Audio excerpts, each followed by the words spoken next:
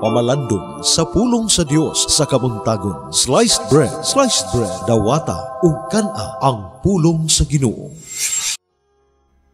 Mayong buntag sa tanan.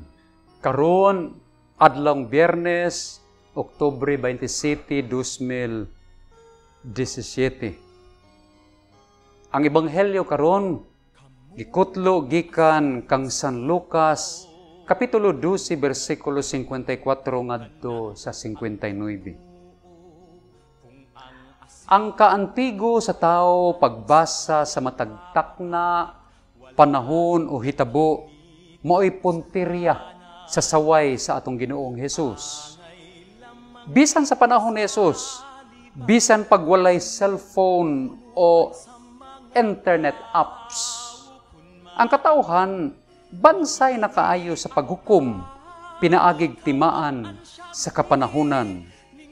Ang maong kaalam o kaantiguhan, mauusab untay gigamit sa hustong paghukom. Taytot, hustong paghukom mahitungod sa katapusan sa kalibutan o end of the world. Migamit ang Ginoo og sanglitanan sa pagresolba sa bangi civil conflict. Mintras wala ka pa itugyan ngadto sa huwes, ug ibalhog ka ngadto bilangguan.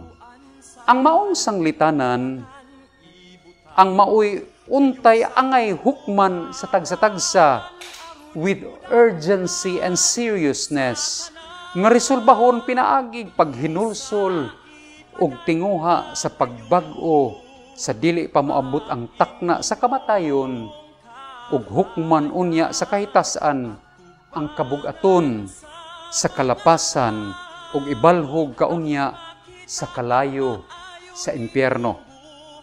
Ang mensahe mao hukman ug buhaton takaron ang pagbag-o sa kaugalingon.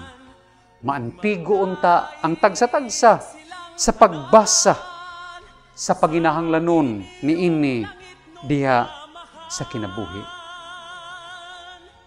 Sliced bread, dawata ug kana ang pulong sa Ginoo.